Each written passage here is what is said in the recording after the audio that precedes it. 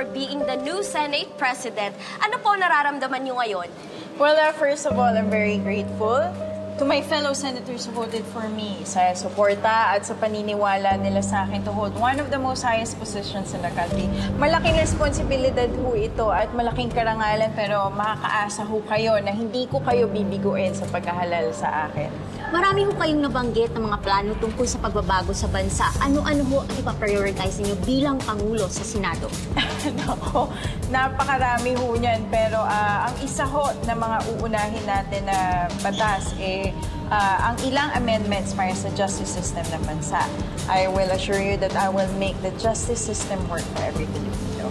Ano naman ho ang masasabi ninyo tungkol sa pagtugis kay Tiago Guerrero? Hindi pa ba kayo nawawalan ng pag-asa dahil hindi pa siya nahuhuli? Ah, hindi naman. Yung mga katulad ni Tiago eh, yan ang mga tao na nawalan na ng pag-asa sa sistema. Kaya doon na humantong. Pero ah, ganun talaga ang mangyayari sa'yo. Pag wala kang pinangahawakan ng pag-asa, talagang lulubog ka sa Thank you, Ren. Excuse me.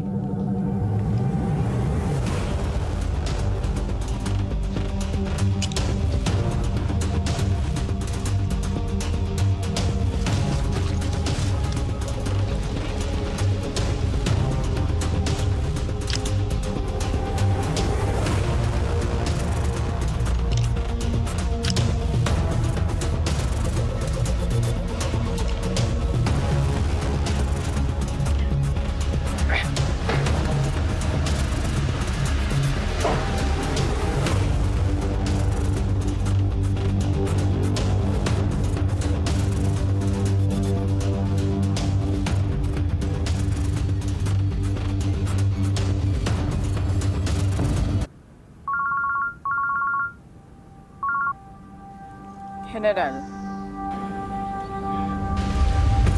Cinco, kailangan ilipat na natin yung mga bomba doon sa areang malapit sa summit. Para wala natin problema. Yes po, General. Yung mga taon mo, Malapit na po sila dyan. good.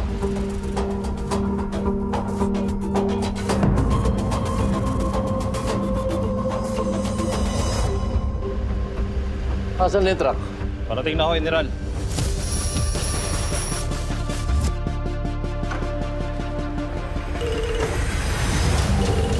Hello.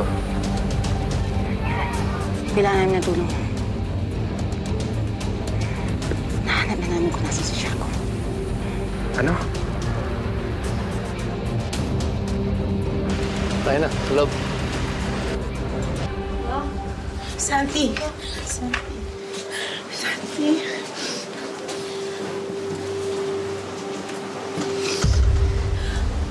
Hindi ba kayo nasundan?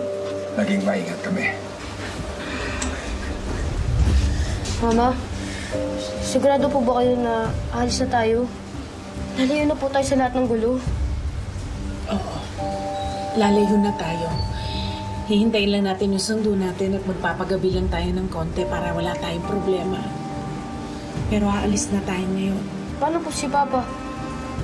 Hindi po ba siya susunod sa atin? Susunod ang papa mo. Paano po pag hindi?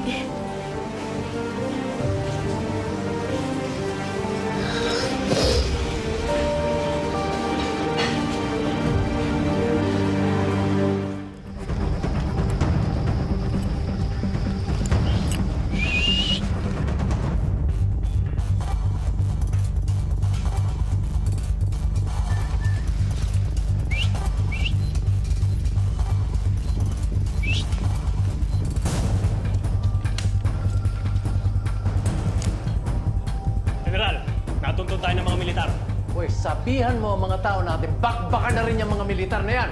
Sige na! Saan grupo yan? Sila Ethan! Move! Kanina!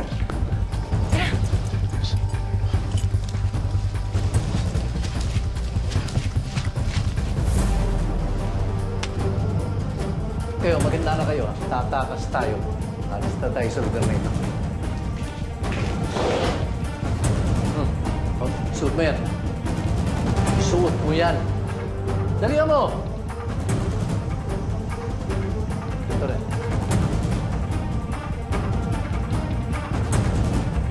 Ito na bahala sa kanya. Sige na, sige na! Mauna na kayo! Sige na!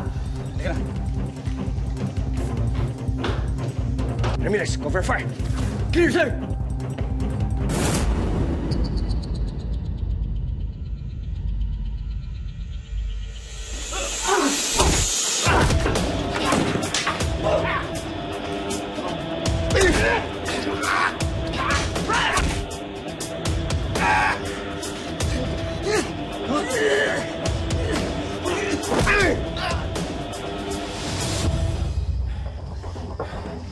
Naisahan naman tayo, Chaco.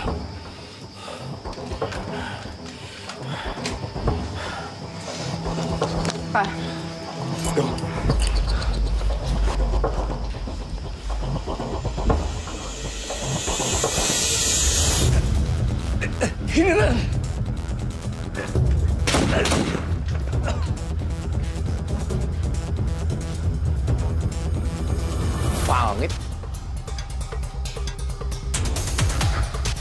Ay.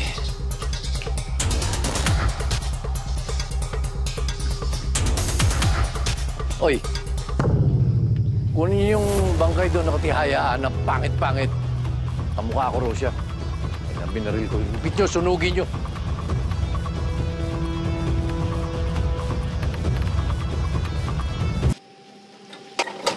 Isakay niyo sa likod yung bomba!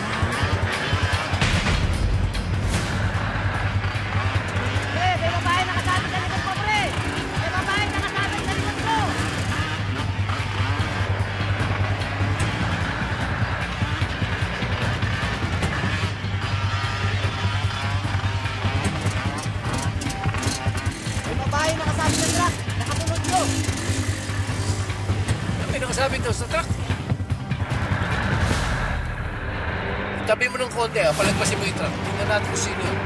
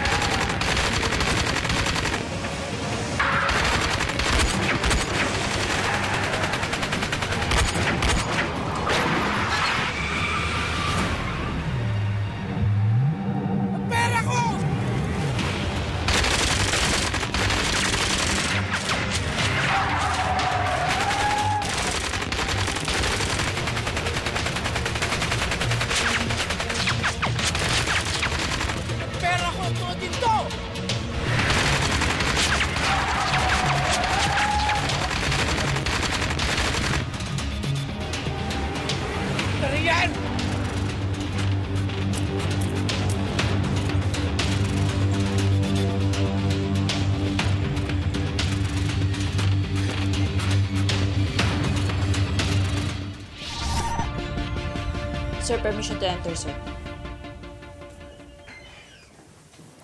Sir, nakuha na namin yung resulta ng mga test doon sa bangkay na nakita natin base dun sa dental at hospital records ni Thiago Guerrero, pati na rin dun sa DNA test na ginawa sa anak niya si Santino Guerrero, hindi si Thiago Guerrero yung nakita nating bangkay sa bangko. Sinasabi ko na ba? Mahirap mamatay ang masamang damo. Negative yung result ng DNA test na nakuha sa bangkay. Hindi yun si Thiago. Driver ba nagsalita? Sinabi impormasyon? Hindi din daw. Ayaw magsalita. Grabe yung mga tao ni Tiago. Tikom talagang bibig. Ano ba, loyalty ba yon? Parang brainwash na brainwash po sila eh. Hindi na loyalty yan eh. Kaibangan na. Mapupulong siya sa kulungan. Habang buhay siya maghihimas ng rehas.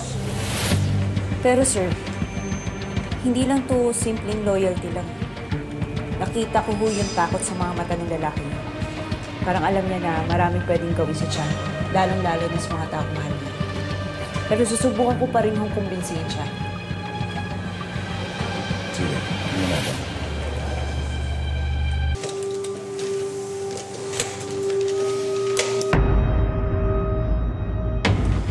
Ikaw na ang bahala sa mga bombang ito.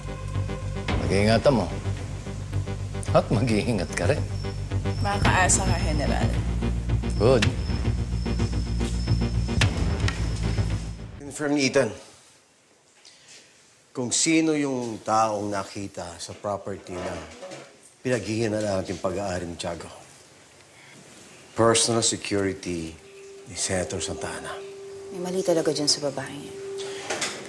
Bakit mo sabi yan? Sisinungaling siya. Nasabi ko na kay Franco kung bakit nagdududa ako simula na nakita sila ni Mama. Umarang siya ng babaril ko. Tapos yung tura niya, nakita ko naman siya nakalakad siya na parang wala na. Tignan natin yan. Ito isang article online. Wala nang mga magulang pala to. Inampun siya ng isang ambassador pero namatay itong nampun sa kanya sa isang sunog. Malinis magtrabaho mga tao ni Tiago. Kagaya ng ginawa kay Cuatro. Ilagay siya sa may kayang pamilya. Malapit sa kapangyarihan. At dinispat siya nung hindi na kailangan. Kumuha siya ng polisay. Dito nagsimula ang kanyang political career. Kailangan natin makasigurado kung itong si Cinco ay si Senator Santa Ana. May nakita ho kasing katawan dun sa bunker ni Tiago at na-identify ho namin na isa yon sa mga bodyguards ninyo. Si Ramil Gambino po. Yeah, ah, kilala ko si Ramil, pero nag-file siya ng leave dahil bibisitahin daw niya yung pamilya niya. And until now, hindi pa rin siya nakakabalik. So, anong connection niya kay Tiago? Hindi ko alam na may connection sila ni Tiago. Oh my God. Mukhang pinlanta siya ni Tiago to spy on me. Bakit naman po kayo paplantahan ng tao ni Tiago? We all know na ako ang number one antagonizer niya ever since. And siguro ito yung paraan niya para maghiganti. Para alamin kung ano yung nalalaman ko tungkol sa kanya. Ayos ka lang?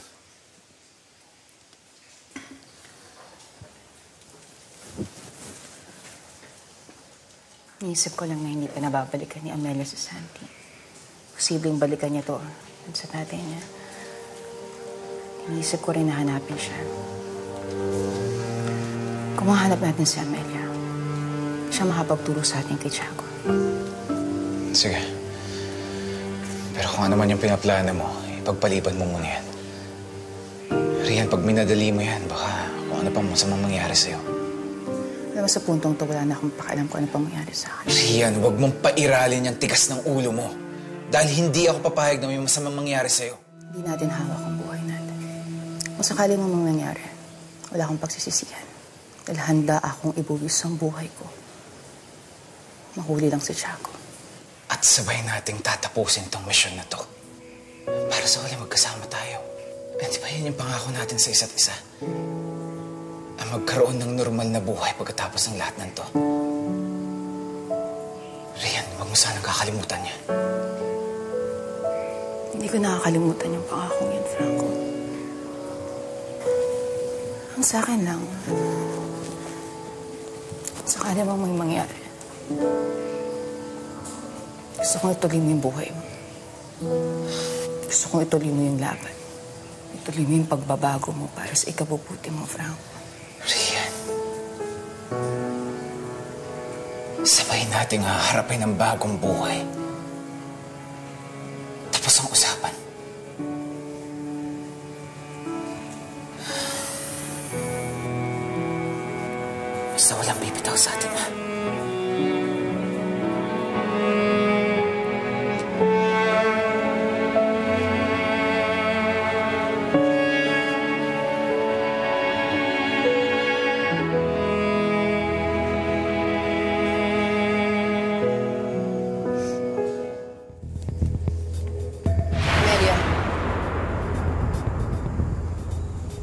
Nasaan si Tiago? Nasaan ang bomba? Hindi ka ba talaga titigil? Hindi. Kaya wag na natin patagalin to. Nasaan si Tiago? Anong gagawin mo kung di ko sinabi sa'yo? Papatayin mo ako? Barilin mo na ako! Kilala kita, Rian. Ako ang nagpalaki sa'yo. Naging nanay mo. Ngayon naging nanay na kita. Okay, nagpalaki sa akin. Pero kahit kailan, hindi kita naging nanay. Kilala pa rin kita. Hindi mo kaya. Tama ka naman. Hindi ko kayang pumatay ng tao. Hindi ko kayang ginawa ng kay Sue. Kay Eli.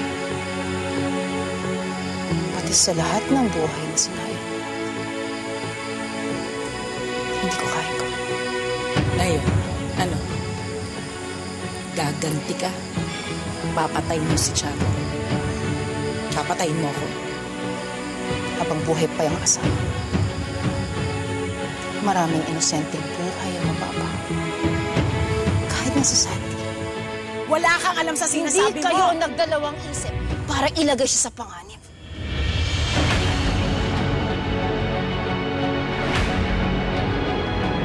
Wala kang alam, Rian.